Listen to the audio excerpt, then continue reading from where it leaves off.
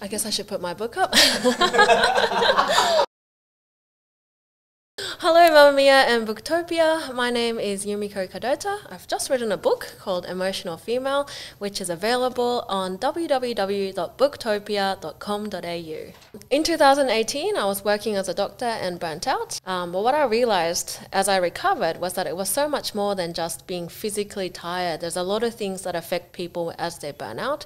It's an existential thing sometimes, and it's also a lot of systemic problems that lead to people burning out. So a lot of it is about shifting that mindset of blaming the individual and thinking about the systemic factors that are leading to people um, burning out and having these unpleasant and toxic experiences in the workplace. Burnout has three different domains. So it's not just the physical and emotional exhaustion, which is the first domain. Something else that people experience is this feeling of cynicism and also a reduced or diminished sense of personal accomplishment. So by talking about some of the early sign of signs of burnout, I think it'll help people identify if they're burning out and then think about what workplaces can do to help support people who are starting to feel that way. When I was at uni, we had a section at the end of every assignment called a reflection. So, one of the graduate capabilities at my uni was to become a reflective practitioner. So, we all used to groan when we had to do this little bit at the end, reflecting on what we learned from doing all these assignments. But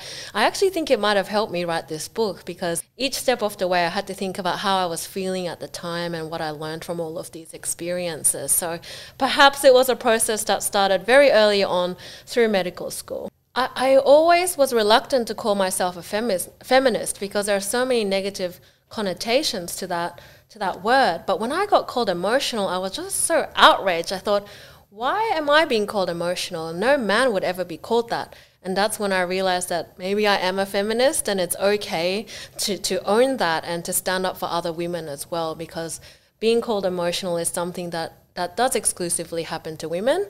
So it's um, so it's actually made me a, a proud and stronger feminist because of it.